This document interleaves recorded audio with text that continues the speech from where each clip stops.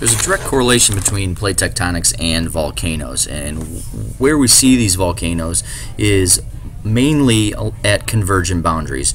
Um, it can be an oceanic and oceanic convergent boundary or an oceanic and continental convergent boundary, but it needs to be an area where subduction occurs. And what happens is as one plate subducts underneath another, um, the friction becomes so great that it starts heating up that plate, um, starting the melting process, and then as the plate continues down into the upper mantle, the temperatures rise so great that it the plate itself melts, forcing magma up to the surface. And then, if we're talking an ocean ocean um, convergent boundary, it will form volcanic island arcs. And an example of this is the Aleutian Islands off the coast of Alaska. Um, if we're talking about an oceanic continental plate, um, instead of a volcanic island arc, we're going to see continental volcanic arcs, and this is going to be um, how we uh, got the formation of the Andes Mountains. The other place that we will see uh, volcanoes, if they are not occurring at a convergent boundary, is hotspots. And what a hotspot is is a um, fixed spot of magma that's rising up through Earth's crust. The Hawaiian Islands are a great example of hotspots. Um, the current island that is over the hotspot is Hawaii or the mainland, and um, it is getting larger in size as the magma continues to rise up. It, it's slowly moving itself off of the hotspot, which then will start um, the process of another island forming. Um, you can see in the diagram there that Kauai is the oldest of the um, islands, then Oahu, then Maui, and now we are currently um, we currently have Hawaii sitting over that fixed hotspot. With any volcanic eruption, we experience dissolved gases, and what these dissolved gases are are what the driving force behind the eruption is. If there's a lot of dissolved gases built up inside the magma chamber, we are going to experience a very violent eruption. If there's low amounts of dissolved gases, we are going to experience a more quiet eruption or just lava flowing out of the volcano and down the sides of it. Another characteristic of magma is viscosity, and viscosity is the resistance to flow. So if something has a low viscosity or it is um, doesn't have a high resistance to flow, it means it's going to run very quickly. And what goes into determining the viscosity of magma is the temperature and composition of it. Something that um, a volcano that has a very high viscosity and a high gas content is going to experience the most violent eruptions of any volcano. The first of the two types of lava is pahoehoe, and pahoehoe is a very fluid, ropey-like lava that just flows out over itself, pushing into it um, itself, making that wrinkled look that you see in the pictures there. It's a very slow-moving um, lava that just uh, runs.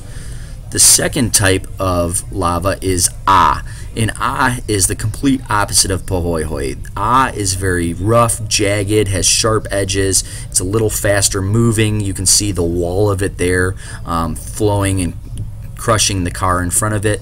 Um, it is faster moving than uh, Pahoehoe, and for that reason is probably how it got its name of Ah.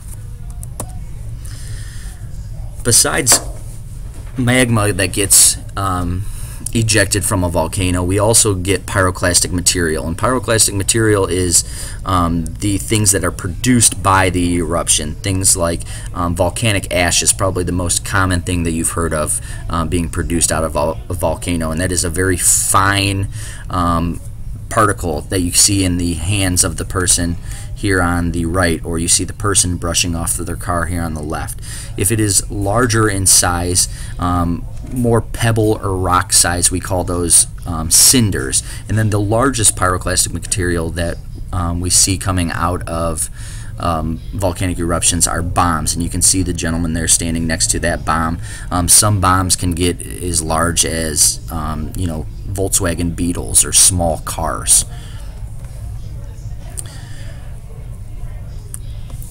Now, the three types of volcanoes that we have here on Earth are shield, cinder cone, and composite. Shield volcanoes are very broad, almost dome-shaped volcanoes. They get their name because of their look. They look just like a shield. They experience quiet eruptions, which is what gives them this characteristic. What happens is the magma just slowly um, reaches Earth's surface and then pours down the sides of it, building it up layer by layer and eventually making it into its enormous size that it is. Shield volcanoes are the largest volcanoes that we have, and the Hawaiian Islands are examples of shield volcanoes. Cinder cones are the smallest of our volcanoes, but even though they are the smallest, they are the most violent for their size. Um, they are built primarily of pyroclastic material, ash cinders, um, and oftentimes we get these um, they are built from one single eruption. And we see a lot of them in clumps or groups together. Um, Mount Paricutin and Sunset Crater in Arizona is a prime example of a cinder cone. And a composite cone is in between the two of those. A composite cone is slightly larger than a cinder cone, um, not nearly as big as a shield volcano. Um, they do experience violent eruptions, but they, with their violent eruption, also comes a combination of flowing lava over the side, as well as that pyroclastic material being ejected out of it.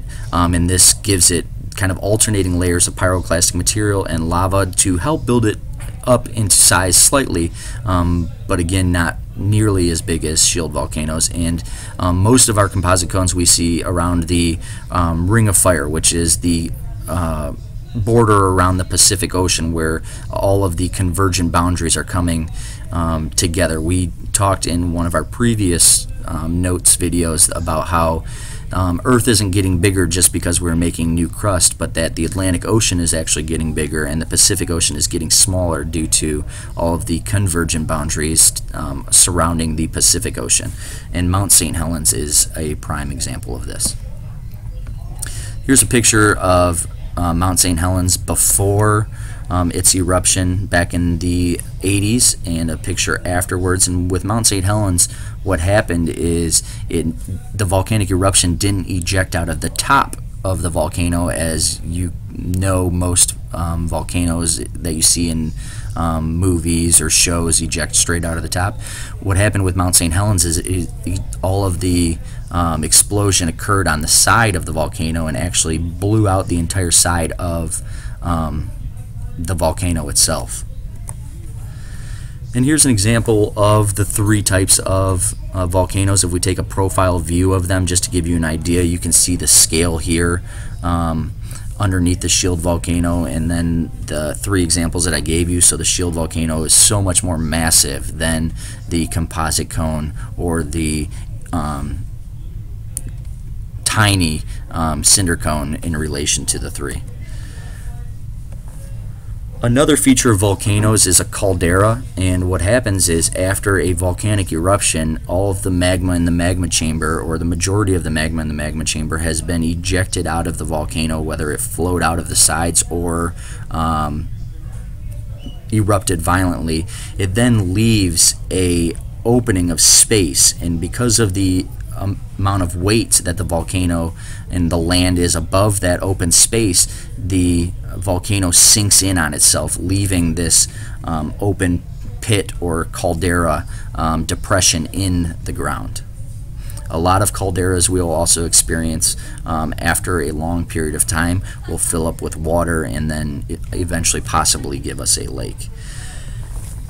And lahars, lahars are mud flows that are created from volcanic ash and water. So it, when a volcanic eruption occurs, um, a lot of times you we will experience um, rain, or if it is a volcano in um, an area that is experiencing winter or there's a lot of snow and ice around, it will melt that snow and ice, creating this river-looking um, flow, which is actually not just water, it's a mixture of volcanic ash and water, so it is very heavy and thick um, and very destructive. And again, just a overview of the volcanic lo locations at convergent boundaries. The subducting plates um, melt and magma then rises. Examples being Japan, Mount St. Helens. Um, at di divergent boundaries, we experience seafloor spreading, so magma rises up through the rift, giving us um, things like the mid-ocean ridge, um, Iceland, the East African rift, and then hotspots are the areas where the mantle plume um, is in a fixed location just with magma rising up towards Earth's surface, making its way out. Um, Hawaii is an, a good example of a hotspot as well as Yellowstone. Yellowstone National Park is actually considered a supervolcano and it has a enormous um, magma chamber lying below it and it is currently um, overdue for an eruption in when we look at the history or trends of the eruption and the effects um, arguably would be the most catastrophic that we have ever experienced if it were to ever erupt in um, our lifetimes.